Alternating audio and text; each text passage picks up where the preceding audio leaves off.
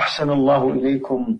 السائل من المنطقة الجنوبية بشهرانيا عمر الكباش له سؤال في هذا يقول أسأل عن كيفية صلاة الوتر في رمضان.